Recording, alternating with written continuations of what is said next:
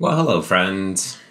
Uh, today I've just paid out a bug bounty uh, because we have a Serenity OS bug bounty program. Uh, if you haven't seen it, it's on the website, serenityos.org slash bounty. Um, and I will pay out $5 US uh, dollars for any exploitable bug in the categories of remote code execution or local privilege escalation. Uh, and then there are some rules and stuff.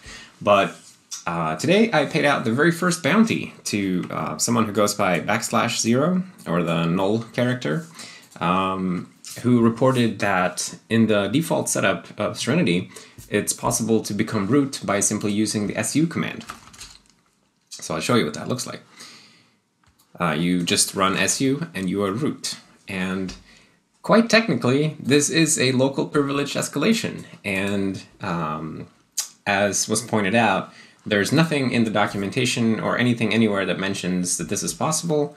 Um, so it, it does qualify as a bug and a local privilege escalation bug indeed. Now, I was a little bit skeptical of this at first, but um, but I, I, think that it's it's right to consider this a bug. So the fix that I made was uh, to simply uh, add a note to the documentation about how this is the case, and if you want to prevent this mechanism, um, which the mechanism is really only there for development convenience, right? So if you want to prevent that, you can go and edit the um, etc group file. Oh, wait, I don't have VI. um, and remove anon from the wheel group because the way that we protect SU is that we use the wheel group.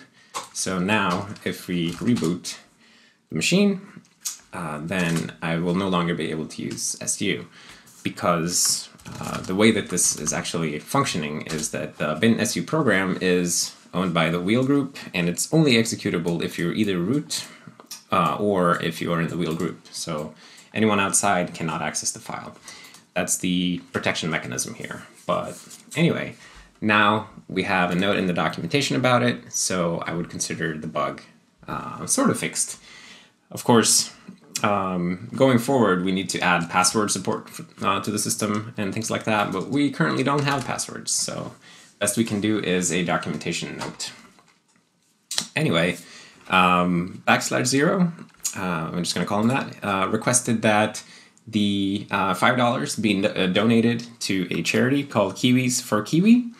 Um, so here is the email I got from Kiwis for Kiwi uh, thanking me for a generous donation of five dollars.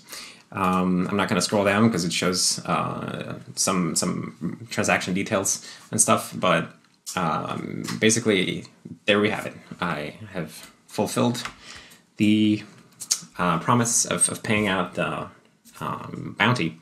So I'm very very happy that I finally had a chance to pay out a bounty. And this, I guess, is both a video about the bounty itself, but also um, to let you know that this program exists. If you're interested in, um, you know, security issues, uh, penetration testing, this type of stuff.